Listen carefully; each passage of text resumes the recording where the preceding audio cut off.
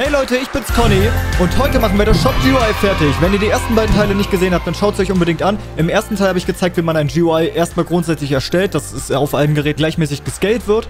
Im zweiten Teil habe ich gezeigt, wie man die Local Scripts für das GUI erstellt, dass sich der Shop hier öffnen lässt und schließen lässt und dass man die Game Pässe kaufen kann. Ich habe jetzt extra fürs Tutorial zwei der Game Pässe mal auf kaufbar gestellt und so eingerichtet, dass ich auch raufklicken kann.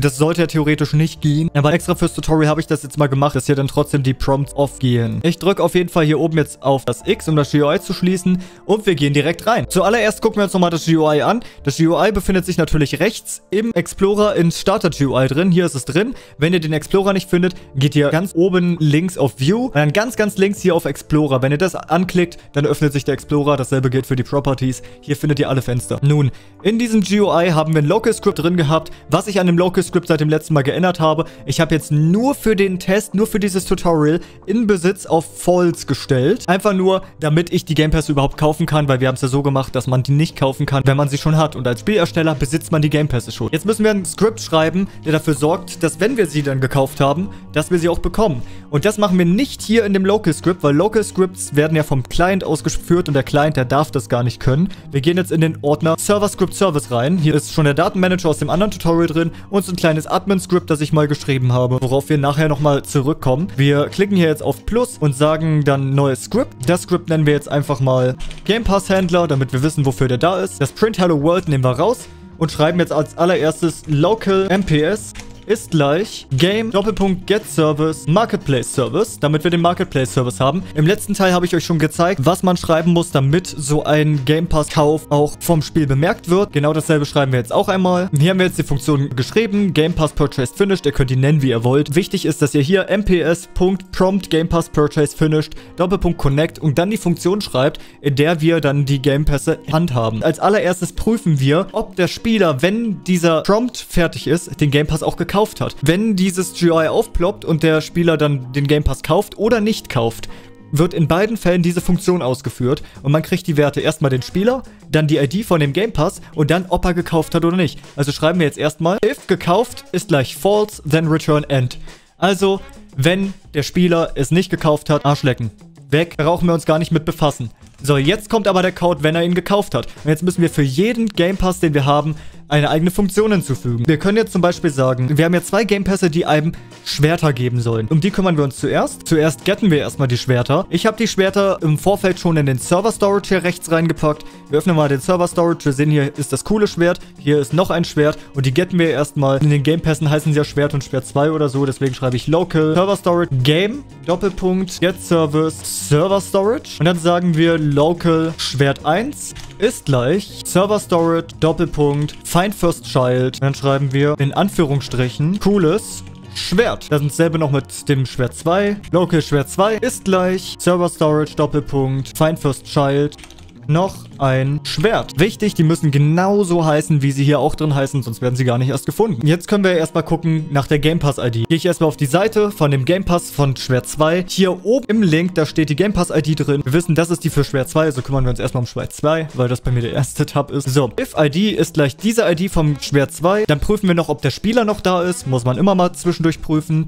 Und ich sage auch, and Schwert 2. Wenn der Schwert 2 aus irgendeinem Grund nicht im Server Storage ist, dann haben wir ein Problem. Dann können wir es dem Spieler auch nicht geben. Aber wir sagen jetzt erstmal, wenn der Spieler existiert und wenn Schwert 2 existiert, dann sagen wir Local Schwert ist gleich Schwert 2 Doppelpunkt Clone, weil wir wollen dem Spieler ja nicht dieses Schwert aus dem Server Storage geben, wir wollen ihm eine Kopie von diesem Schwert geben. Und dann sagen wir Schwert.parent ist gleich Player.startergear, wir wollen das dem Spieler ins Starter Gear packen. Jetzt gucken wir mal, was passiert, wenn ich jetzt auf Play drücke und das Ding kaufe. Ich kommentiere jetzt, gekauft ist gleich Falls auch mal aus. Das dürft ihr in eurem Spiel natürlich auf gar keinen Fall machen, wenn es öffentlich ist. Das ist jetzt nur zu Testzwecken da. Ich drücke hier nochmal auf das Schwert, drücke dann nochmal auf OK. Und jetzt wird die Funktion auch ausgeführt, weil ich es auch gekauft habe. Wir gucken hier mal rechts in Players. Roblox Conny und dann Starter Gear und hier ist das Schwert drin. Aber interessanterweise ist das Schwert jetzt in Starter Gear, aber nicht im Backpack. Weil die Sachen, die im Starter Gear drin liegen, die kriegt man nur dann, wenn der Spieler neu spawnt. Das heißt, wir müssen jetzt hier oben einmal auf Reset Character drücken. Bam, ich fall um und auf einmal habe ich hier unten in der Leiste noch ein Schwert. Jetzt ist es nämlich auch in meinem Backpack drin. So machen das die meisten Spiele und ich finde das ziemlich blöd. Äh, deswegen nehme ich diese gesamte Funktion hier nochmal, kopiere alles, paste das hier nochmal hin. Wir sagen jetzt, das Schwert, das Local können wir weglassen, aber Schwert ist nochmal Schwert 2. Clone. Und jetzt sagen wir Player, Doppelpunkt, Backpack. Wir könnten zwar jetzt auch einrichten, dass er automatisch das Ding equipped, aber ich bin zu faul jetzt noch den Humanoid zu getten. Äh, ihr müsstet dann den Humanoid getten und dann die Funktion Humanoid Equip Tool ausführen. Das habe ich ja schon bei cooles Schwert klickbar hier einmal gemacht. Hier sehen wir es einmal Script. So, wir getten den Humanoid, Spieler, Character, Find First. Komm, wir kopieren das einfach raus. Wir kopieren es einfach raus. So, nehmen hier Player und schreiben es um in Spieler und dann haben wir das. So, wir drücken jetzt nochmal auf Play, gehen auf den Shop, gehen auf das Schwert, sagen kaufen, haben es gekauft und es wird direkt ausgerüstet. Dieses gesamte if-Statement hier müssen wir jetzt nochmal schreiben. Wir schreiben diesmal aber nicht if, sondern wir schreiben else if. Ich kopiere es trotzdem einmal rüber und schreibe dann else if ID ist gleich. Dann gehen wir wieder in den Browser, gehen zu Schwert 1, klicken, machen hier oben Doppelklick auf die ID von dem Schwert, kopieren die uns raus, kopieren die hier rein und dann machen wir dasselbe und ändern hier überall Schwert 2 in Schwert 1 um. Und dann funktioniert das Ganze auch mit Schwert 1. Jetzt haben wir aber immer noch ein Problem. Die Leute haben sich jetzt den Game Pass gekauft und wenn sie ihn kaufen, kriegen sie das Schwert. Aber wenn sie das Spiel verlassen und wieder reinkommen, kriegen sie das Schwert immer noch nicht. Dementsprechend müssen wir jetzt diese Funktion hier auch ausführen, wenn ein Spieler dem Spiel beitritt. Und jetzt wird's anstrengend anstrengend. Wir brauchen den nächsten Service. Local Players ist gleich Game Doppelpunkt Get Service Players. Jetzt gehen wir einfach mal runter und sagen Players.PlayerEdit Doppelpunkt Connect und dann die Funktion Player Edit, die wir noch schreiben müssen. Die schreiben wir jetzt hier. Function Player Edit, Klammer auf, Klammer zu. Und dann schreiben wir einfach mal Spieler in dem Fall, weil wir lustig sind. Ne, wir schreiben Player, weil wir oben auch Player geschrieben haben. Dann können wir besser copy-pasten. Und hier müssen wir jetzt bei jedem Spieler auch checken, ob der Spieler den Game Pass hat. Und das für jeden einzelnen Game Pass. Und das haben wir ja schon hier in unserem Local Script gemacht. Wir öffnen also nochmal das Local Script von dem letzten GUI. Ich nehme dieses False jetzt nochmal weg, weil wir es ja nicht mehr fürs Testen brauchen. Marketplace Service User owns Game Pass Async. Diese Funktion haben wir hier und das müssen wir jetzt für jeden Game Pass machen. Und damit auch alles hübsch ausgeführt wird, arbeiten wir einfach mal mit einem For Loop, also For Unterstrich Komma, habe ich beim letzten Mal schon erklärt, warum ich das so mache. ID in per Game Passes do. Jetzt braucht man natürlich noch ein Table mit allen Game Passes, also scroll ich einfach mal hoch. Sag jetzt Local Game Passes ist gleich. Dann machen wir hier ein Table auf. Da kommen dann später die ganzen Game Pass IDs rein. Coroutine.wrap Function, Klammer auf, Klammer zu, Enter. Dann hier nochmal Klammer auf Klammer zu. Er meckert rum, weil ich Game Passes oben klein geschrieben habe, also mache ich es ja auch. Und jetzt paste ich hier einfach das rein, was wir hier hatten. Marketplace Service User owns Game Pass Async. Dann nehmen wir hier Player, packen das hier rein. Player.user-ID und dann die ID von dem Game Pass. Wir wollen natürlich auch den Value haben, also sagen wir, wir sagen jetzt einfach if, then. Also wenn der Spieler den Game Pass besitzt, dann wird die Funktion für den Game Pass ausgeführt. Und dann müssten wir ja eigentlich für jeden Game Pass nochmal den Spaß hier machen. Weil das auf Dauer ziemlich lang wird, müssten wir diese Funktion hier irgendwann auch aussondern. Ich mache auch mal das hier wieder so. Wir könnten zum Beispiel im Fall der Schwerter einfach eine Funktion erstellen, die den Leuten dann ein Schwert gibt. Also Function, Item geben, Spieler, Item. So, dann nehmen wir diesen ganzen Spaß hier rein, kopieren das da rein. Ich ändere das Spieler einfach mal in Player, einfach nur um consistent zu bleiben. Normalerweise schreibe ich immer Spieler, aber ich habe irgendwann mit Player jetzt angefangen in dem Video, also bleiben wir dabei. Wenn Spieler und, und Item, dann müssen wir natürlich überall Schwert 2 jetzt durch Item austauschen. Und bevor wir das hier machen, müssten wir eigentlich auch sicherstellen, dass der Character auch existiert. Und weil ich darauf jetzt keinen Bock habe, lösche ich das trotzdem raus. Kein Bock, könnt ihr selber machen. Das Video kann nicht unendlich lang dauern. Und jetzt kopieren wir hier einfach Item geben und machen hier alles weg und schreiben einfach nur Item geben, Spieler, Schwert 2. Machen hier alles weg, tauschen es aus durch Item geben, Spieler, Schwert 1. Und genau diese Funktion hier können wir einfach auch callen. Wir gehen jetzt hier rein und sagen Game Pass Purchase Finished. Dann packen wir den Spieler rein, die ID und gekauft setzen wir einfach auf True. Weil wir wissen ja, dass er den Game Pass gekauft hat, wenn er dem Spiel beitritt. Ja, machen wir mal die Abstände weg. Das ist eine kleine Funktion. Müssen wir nur noch die Game Pass IDs auch in den Table Game Pass reinpacken. Deswegen nehme ich die ID hier, schreibe jetzt Game Pass ID, dann Semikolon und dann die nächste Game Pass ID. Und jetzt haben wir das schon mal gemacht für die zwei Schwerter. Auf der Webseite sehen wir jedoch, wir haben auch einen Admin Game Pass.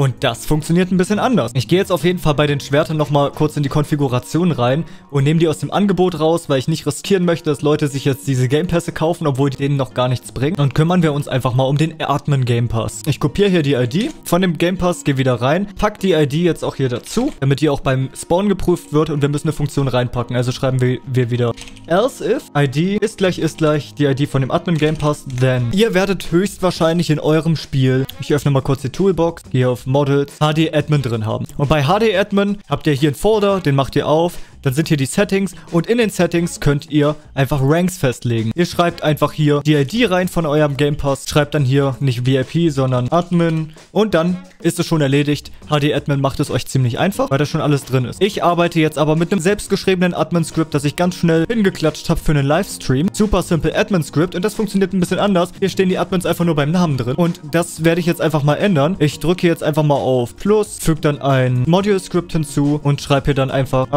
Admins rein. So, ich benenne das Modul hier drin auch um in Admins. Ist gleich ein Table. Da haben wir hier diesen Table. Ich lege mir hier mal die ID ab, damit ich sie später habe. Gehe hier rein und kopiere mir einfach diesen Table, paste ihn hier rein. Sag dann in dem Teil hier Admins ist gleich require script.admins. Und das war's. Wird dann genauso funktionieren. Aber was ich jetzt machen kann, ist, ich kann diesen Value jetzt bearbeiten. Ich kann jetzt einfach vom Game Pass Händler aus sagen, okay, local admins ist gleich require script.parent.supersimpleadminscript.admins. Ich, ich sag jetzt einfach mal table.insert admins, player.name. Wird der Spielername hinzugefügt. Wir können es jetzt einfach mal testen, indem ich Roblox Conny hier einfach mal rausnehme und hier einfach mal ein Print hinzufüge. Print admins und danach auch einmal Print Admins. Kurz das Admin-Script umgeschrieben, dass es während des Spiels prüft, ob man Admin ist. Drücke hier auf Play. Ihr seht, als ich dem Spiel beigetreten bin, wurden diese zwei Sachen geprintet. Warum? Es wurden einmal alle Game Pässe durchgegangen und dann wurden sie gegrantet. Weil ich der Besitzer des Spiels bin, habe ich alle Game Pässe.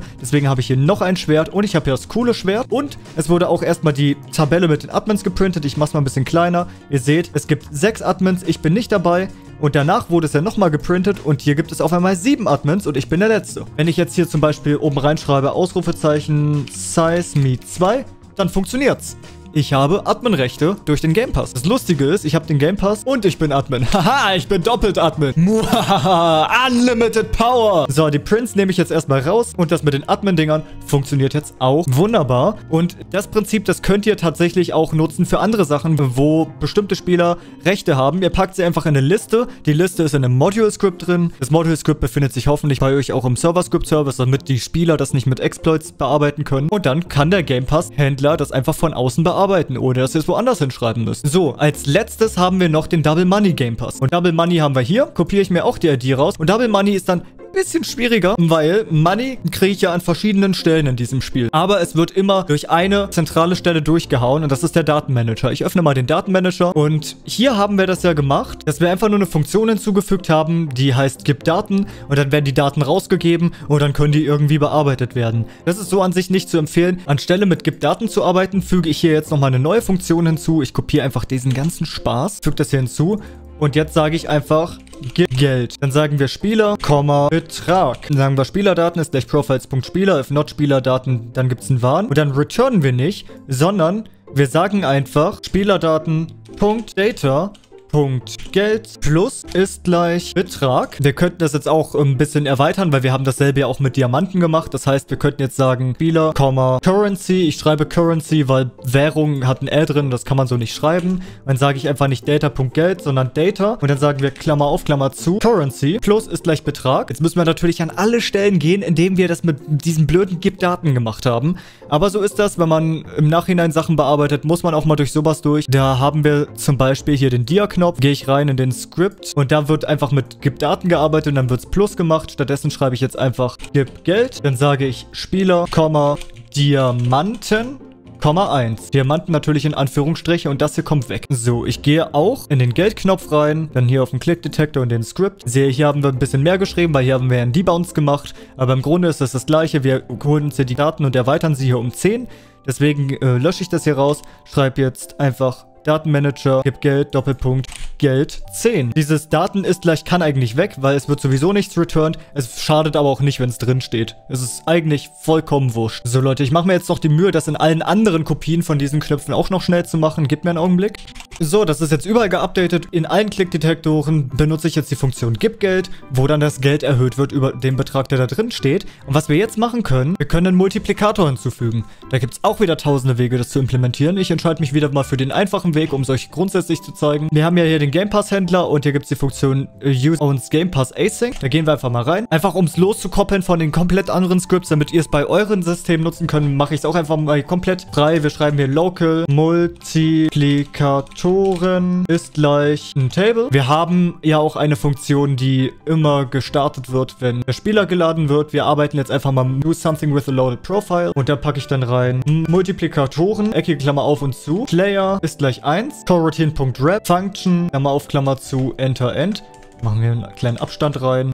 If User 1 Game Pass, then wir müssen erstmal Variablen austauschen, Player wird zu Player. Die ID von dem Admin Game Pass, die haben wir hier, die kopieren wir uns hier rüber und tauschen sie hier aus. Und wir müssen noch den Marketplace Service getten, das machen wir natürlich auch ganz oben. Einmal hier bei den Players zum Beispiel. MPS ist gleich Game Doppelpunkt Get Service Marketplace Service. Also wenn der Spieler den Game Pass hat, wir sagen hier einfach mal ist gleich Table und dann sagen wir Multiplikatoren.spieler.geld ist gleich 2. Das bedeutet, wir haben jetzt einen Geldmultiplikator hinzugefügt. Den haben wir auf 2 gesetzt. Wir können jetzt einfach Multiplikator.spieler.geld hier einfach mal uns rauskopieren. Gehen hier hin zu der Funktion, wo wir den Leuten Geld geben. Also haben wir uns jetzt noch den Multiplikator dazu. Das heißt, wir sagen jetzt local Multiplikator ist gleich 1. Erstmal. In jedem Fall ist der Multiplikator 1. Und jetzt gucken wir, ob es einen extra Multiplikator gibt. If Multiplikatoren in Klammern Spieler, also wenn es für den Spieler irgendwelche Multiplikatoren gibt, gibt es, aber wir checken es trotzdem nur zur Sicherheit. And Multiplikatoren, Spieler, Currency, then. Also wenn es für den Spieler Multiplikatoren gibt und wenn es für diese Währung für den Spieler Multiplikatoren gibt, dann wird der Multiplikator gleich Multiplikatoren, Spieler, Currency. Dann sagen wir einfach Betrag mal Multiplikator. Und wir haben natürlich wieder einen totalen Anfängerfehler gemacht. Die Coroutine.wrap-Function steht da, aber sie wird nicht ausgeführt. Wir müssen jetzt zu den Klammern gehen und natürlich Klammer auf und zu machen. Solche Sachen passieren immer wieder. Wir drücken jetzt nochmal auf Play und jetzt sollte es eigentlich auch funktionieren. Wir gehen jetzt hier zu dem Knopf hin. Wir wissen, okay, pro Klick müsste ich eigentlich 10 bekommen. Klicke ich einmal rauf und ich habe 20 Geld dazu bekommen. Wir sehen jetzt nochmal. Ich habe 17.050. Ich klicke jetzt einmal rauf und ich habe 70, 90, 110, 130. Ich kriege jedes Mal, wenn ich klicke, zweimal so viel Geld, wie ich eigentlich bekommen müsste, weil hier der Multiplikator auf 2 steht. Solche Kleinigkeiten können einen beim Code immer rauswerfen. Ihr müsst unbedingt darauf achten, wenn ihr Code schreibt, dass jedes Zeichen absolut korrekt ist. Wenn irgendwo ein Zeichenfehler ist, funktioniert es nicht. Deswegen immer genau hingucken. Wir sind an der Stelle auf jeden Fall fertig. Beim Game Pass Händler habe ich hier das gekauft if nicht mehr auskommentiert. Falls ihr das noch auskommentiert habt, macht unbedingt den Kommentar hier weg, damit das auch gecheckt wird, weil sonst hat jeder Spieler jeden Game Pass und das wollt ihr nicht. Und hier im Local Script natürlich auch im Besitz nicht auskommentieren, damit das GUI auch am Ende gut aussieht. Wir sind jetzt fertig. Ich kann jetzt auf die Roblox Webseite gehen, für jeden meiner Game Pässe jetzt einen Preis einstellen und die auch wirklich auf äh, Verkauf setzen. Schwert 2 stelle ich einfach mal auf 5 Robux, weil das ist ja, das sind ja alles unnützige Schwerter, die einem gar nichts bringen, die machen nicht mal Schaden, wie wir uns erinnern. Dann haben wir hier Double Money, gehe ich auch auf Konfigurieren, stelle es ins Angebot, Double Money, komm, ist was Wichtiges, sagen wir, kostet 100 Robux. So, dann haben wir hier noch den Admin Game Pass, gehen wir auch auf Konfigurieren ins Angebot und Admin-Rechte sollen auch 420 Robux kosten. Wobei ich denke gerade drüber nach, falls ich gerade, falls ich in einem Livestream drin bin und sich dann jemand Admin Game Pass kauft, dann doch lieber nicht. Dann packe ich es vielleicht doch auf 1000 Robux, damit sich die Leute das nicht einfach so kaufen. Und für Schwert 1 gehe ich auch mal auf Konfigurieren und Schwert 1 sieht ein bisschen cooler aus, deswegen kostet das gleich 7 Robux.